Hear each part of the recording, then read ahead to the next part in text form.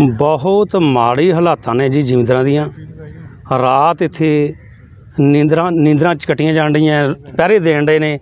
ਇੱਥੇ ਬਿਮਾਰ ਹੋ ਗਏ ਨੇ। ਪੰਜ, ਛੇ ਜਿਹੜੇ ਬੰਦੇ ਨੇ ਸਾਡੇ ਬਿਮਾਰ, ਆਹ ਬੰਦਾ ਸਾਡਾ ਬਹੁਤ ਜ਼ਿਆਦਾ ਬਿਮਾਰ ਹੋ ਗਿਆ। ਠੀਕ ਹੈ? ਇਹਨਾਂ ਨੂੰ ਰਾਤ ਇੱਥੇ ਡਾਕਟਰ ਸਾਹਿਬ ਸੱਦੇ, ਉੱਥੇ ਗੱਡੀਆਂ ਤੇ ਪਾ ਕੇ ਉੱਥੇ ਗਲੂਕੋਸ ਵੀ ਕਰਾਇਆ ਇਹਨਾਂ ਦਾ, ਗਲੂਕੋਸ ਲਵਾਇਆ ਇਹਨਾਂ ਨੂੰ।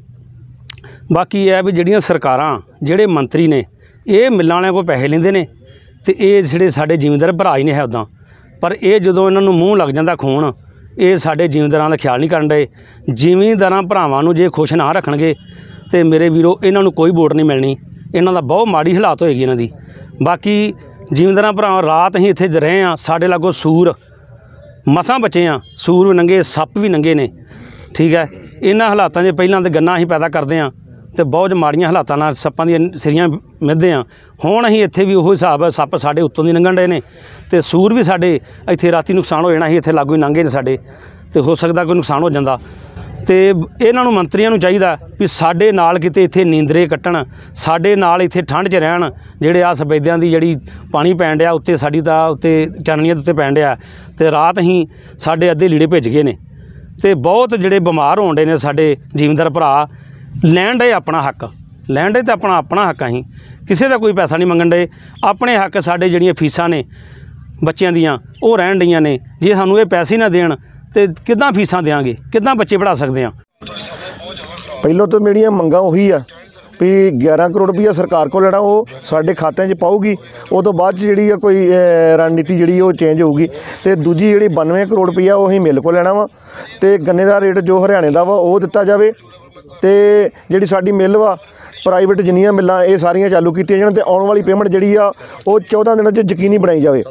ਠੰਡ ਬਹੁਤ ਜ਼ਿਆਦਾ ਵਾ ਠੰਡ ਦੇ ਵਿੱਚ ਤੁਸੀਂ ਬੈਠੇ ਬੈਠੇ ਹੋਏ ਆ ਇਸ ਵੇਲੇ ਤੁਹਾਡੇ ਇੱਥੇ ਕੀ ਹਾਲਾਤ ਨੇ? ਇਸ ਵੇਲੇ ਵੇਖ ਲਓ ਵੀ ਆ ਚਾਰ ਪੰਜ ਬੰਦੇ ਬਿਮਾਰ ਆ।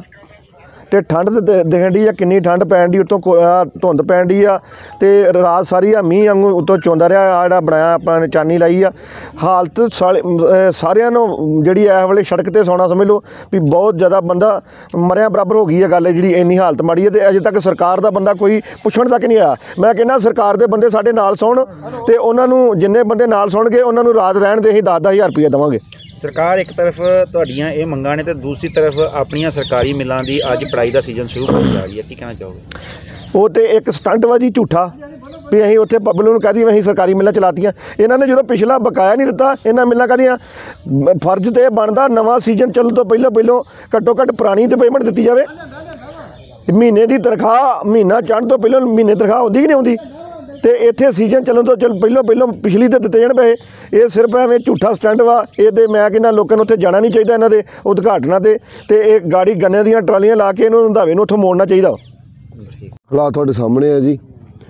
ਬੰਦੇ ਬਹੁਤ ਜ਼ਿਆਦਾ ਬਿਮਾਰ ਹੋ ਗਏ ਆ। ਰਾਤ ਜਦੋਂ ਇਹਨੂੰ ਅਸੀਂ ਦਵਾਈ ਦਵਾਉਣ ਗੇ- ਲੈ ਕੇ ਗਏ 12 ਵਜੇ, ਤਾਂ ਕੁਝ ਬੰਦੇ ਸਾਡੇ ਇੱਥੇ ਖੜੇ ਸੀਗੇ। ਤਾਂ ਉਹਨਾਂ ਦੀ ਛਾਤੀਆਂ ਤੋਂ ਸੱਪ ਲੰਘ ਗਏ ਕੋਈ ਜ਼ਰਾ ਪਤਾ ਨਹੀਂ ਕਿੱਦਾਂ ਬਚਾਅ ਹੋ ਗਿਆ ਬੰਦਾ ਰੌਲਾ ਪਾਤਾ ਤੇ ਬੰਦੇ ਬਚ ਗਏ ਆ। ਪਰ ਜਿਹੜੀ ਹਾਲਤ ਹੈ ਰਾਤ ਕੋਈ ਬੰਦਾ ਮਰ ਜਾਂਦਾ ਤਾਂ ਜ਼ਿੰਮੇਵਾਰ ਕੌਣ ਸੀ? ਇਹਨਾਂ ਹਾਲਾਤਾਂ ਨੂੰ ਤੁਹਾਡੇ ਨੂੰ ਦੇਖਦੇ ਹੋਇਆ ਸਰਕਾਰ ਦੇ ਨੁਮਾਇੰਦਿਆਂ ਨੂੰ ਕੀ ਕਹਿਣਾ ਚਾਹੋਗੇ? ਸ਼ਰਮ ਆਉਣੀ ਚਾਹੀਦੀ ਸਰਕਾਰ ਦੇ ਨੁਮਾਇੰਦਿਆਂ ਨੂੰ। ਵੀ ਵੋਟਾਂ ਪਾ ਕੇ ਅਸੀਂ ਬਣਾਇਆ ਇਸ ਤੋਂ ਵੱਡੀ ਬੇਸ਼ਰਮੀ ਮੈਂ ਕਹਿੰਦਾ ਸ਼ਾਇਦ ਹੀ ਕੇਸਿਸ ਹੋਏ ਜਿੰਨੀ ਇਹ ਨੁਮਾਇੰਦਿਆਂ ਨੂੰ ਸ਼ਰਮੀ ਬਿਲਕੁਲ ਹੀ ਨਹੀਂ ਆਉਂਦੀ। ਉਹ ਲਾਡੀ ਗਿਆ ਸੀ ਕੱਲ੍ਹ ਪਰਸੋਂ ਸਾਡੇ ਕੋਲ ਹੋ ਗਏ। ਉਹਨੇ ਕੋਈ ਸਾਡੇ ਵਾਸਤੇ ਕੋਈ ਰਾਹਤ ਦੇ ਸੁਨੇਹਾ ਨਹੀਂ ਲੈਂਦਾ।